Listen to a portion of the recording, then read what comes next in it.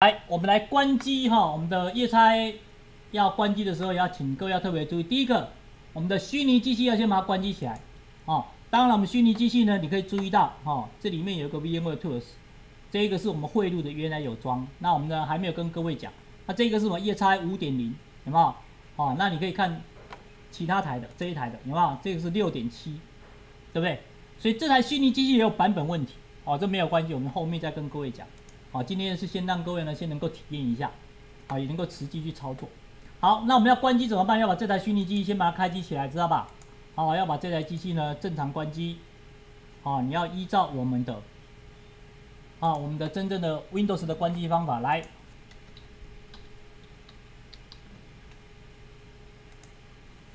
好，V。好，那这边呢按一下关机 shutdown。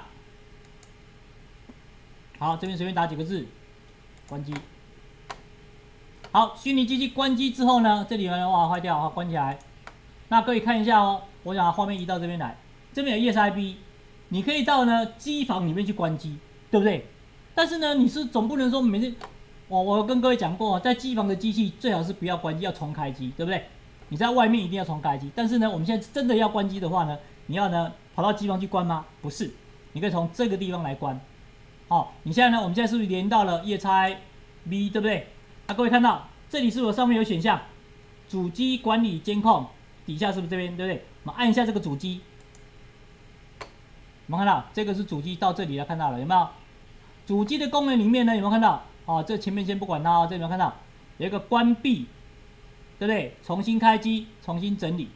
那我们要用的是关闭，好，应该叫关机的哦。来按一下它，对不对？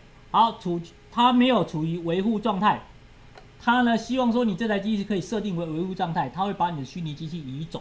但是我们现在知道，我们并没有这样做哈，所以说呢，我们知道已经没有虚拟机器在运作，所以说呢，我们就不是维护状态没有关系，直接关机，好不好？好，所以按下关闭。好，这台机器这个连线就跳出了，有没有？等一下你来看一下哦，这边等下就不能连线了。我们来这边注意一下这个地方，这里哦。ESIB，各位来看一下这个 ESIB，等一下它会自己关机，有看到？好，是关机起来了。好，这样呢就可以完成你的机器关机。那 ESIA 呢，一样，你要关机的时候记得把你的虚拟机器关掉，再来关我的主机里面的关闭，这样知道吧？再把实体机关机起来。好，以上这说明。